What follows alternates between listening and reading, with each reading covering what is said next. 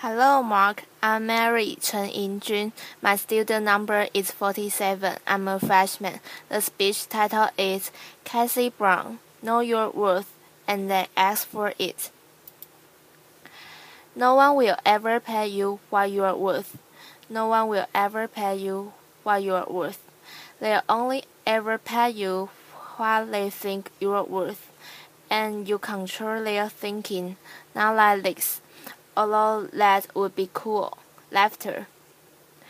That would be really cool. Instead, like this, clearly defining and communicating your value are essential to being paid well for your excellence. Anyone here want to be paid well? Okay, good. Then this talk is for everyone. It's got universal applicability. It's true if you are a business owner, if you are an employee, if you are a job seeker. It's true if you are a man or a woman. Now I approach this today through the lens of the woman business owner because in my work I've observed that women underprice more so than men. The gender wage gap is a well-traveled narrative in this country. According to the Bureau of Labor Statistics, a woman employee earns just 83 cents for every dollar a man earns. What may surprise you is that this trend continues even into the entrepreneurial sphere. A woman business owner earns just 80 cents for every dollar a man earns. In my work, I've often heard women express that they are uncomfortable communicating their value, especially early on in business ownership. They say things like, I don't like to toot my own horn. I'd rather let the work speak for itself. I don't like to sing my own prices. I hear very different narratives in working with male business owners, and I think this difference is costing women 20 cents on the dollar. I'd like to tell you the story of a consulting firm that helps their clients dramatically improve their profitability. That company is my company. After my first year in business, I saw the profit increases that my clients were realizing in working with me, and I realized that I needed to reevaluate my pricing. I was really underpriced relative to the value I was delivering. It's hard for me to admit to you because I'm a pricing consultant. Laughter. It's what I do. I help companies price for value, but nonetheless, it's what I saw. And so I sat down to evaluate my pricing, evaluate my value, and I did that by asking key value questions. What, am, what are my clients' needs and how do I meet them? What is my unique skill set that makes me better qualified to serve my clients? What do I do that no one else does? What problems do I solve for clients? What value do I add? I answer these questions and define the value that my clients get from working with me, calculated their return on investment, and what I saw was that I needed to double my price, double it. Now I confess to you, this terrifies me. I'm supposed to be the expert in this, but I'm not cured. I knew the value was there. I was convinced that the value was there, and I was still scared out of my wits. What if nobody would pay me that? What if clients said, That's ridic ridiculous, you're ridiculous? Was I really worth that? Not my work, mind you, but me. Was I worth that? I'm the mother of two beautiful little girls who depend upon me. I'm a single mom What if my business fails? What if I fail? But I know how to take my own medicine, the medicine that I prescribe to my clients. I had done the homework. I knew the value was there. So when pros prospects came, I prepared the proposals with the new higher pricing and sent them out and communicated the value. How's the story end? Clients continue to hire me and refer me and recommend me. And I'm still here. And I share this story because doubts and fears are natural and normal, but they don't define our value, and they shouldn't limit our earning potential.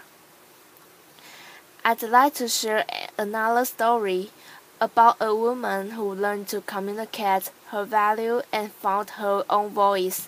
She runs a successful web development company and employs several people. When she first started her firm and for several years thereafter, she would say, I have a little web design company.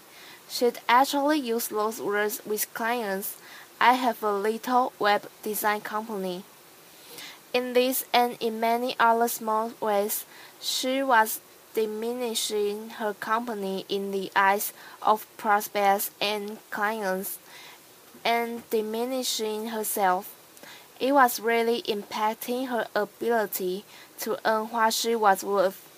I believe her language and her style communicated that she didn't believe she had much va value to offer. In her own words, she was practically giving her services away, and so she began her journey to take responsibility for communicating value to clients and changing her message. One thing I shared with her is that it is so important to find your own voice, a voice that's authentic and true to you. Don't try to channel your sister in law just because she's a great salesperson, or your neighbor who tells a great joke if that's not who you are. Give up this notion that it's tooting your own horn, make it about the other party, Focus on ser serving and adding value, and it won't feel like bragging. What do you love and what do you do? What excites you about the work that you do? If you connect with that, communicating your value will come naturally. So she embarrassed her natural style, found her voice, and changed her message for one thing, she stopped calling herself a little web design company. She really found a lot of strength and power in communicating her message. She's now charging three times as much for web design, and her business is growing. She told me about a recent meeting with a growth and sometimes difficult client who had called a meeting questioning progress on search engine optimization.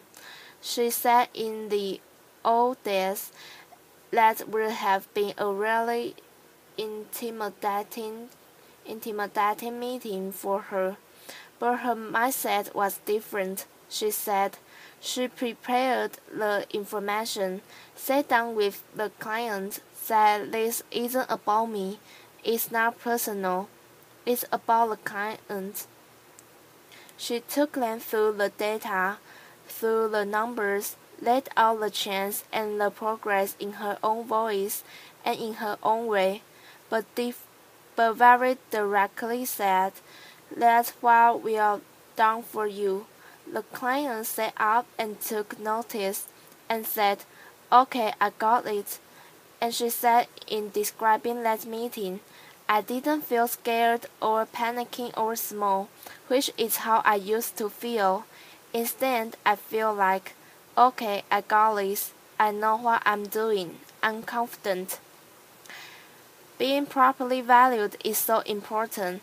You can hear in this story that the implications range far beyond just finances into the realm of self respect and self confidence.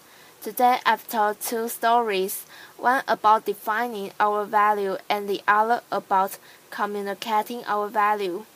And these are the two elements to realizing our full earning potential. That's the equation.